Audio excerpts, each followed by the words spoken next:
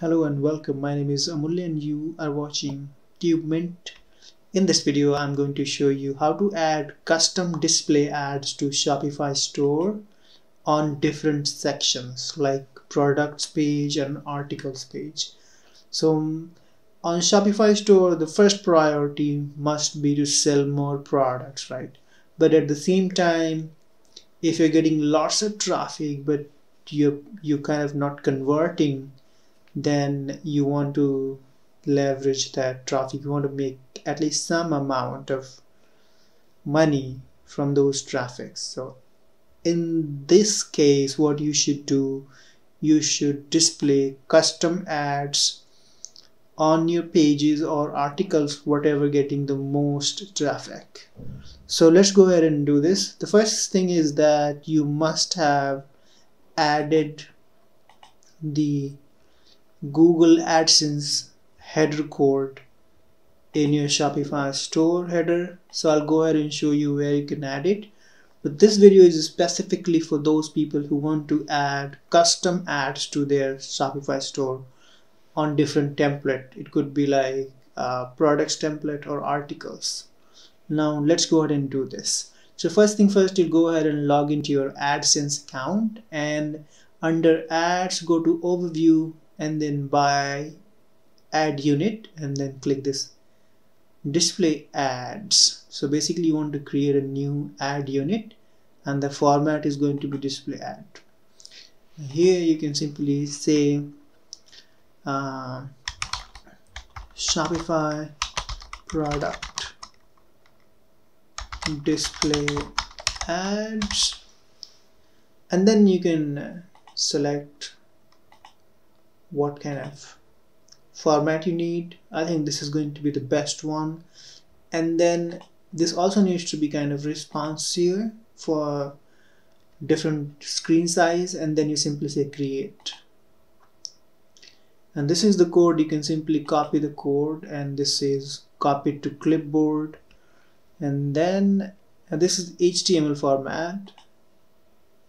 Make sure you go with the HTML format so copy. And we are going to add it to the product uh, template Shopify template. So go to your admin area login and then under home section you will see you are off to a great start which is under you got few options. Go to customize theme customize theme again. And we need to edit some code add some code to the product template. Now we can go ahead and click actions and go to edit code. And here we are under. So this is theme template layout sorry. And then we have templates so we have header template. So if you have not yet added the uh, Google AdSense header code for your specific website go ahead and add that code to this header section okay? So header liquid section template basically which is under sections under sections header. But for this uh, newly created display custom AdSense ad, we will add it to product.liquid which is under template star templates folder. So you'll have to figure out where you want to put it. So we are going to put at the very bottom of the product okay so go ahead and paste that display Shopify product display ads and save it. And this will make sure that your product pages have a custom display ad type from where? From products. So as soon as somebody clicks on products these are just demo products so I don't have okay share the preview ad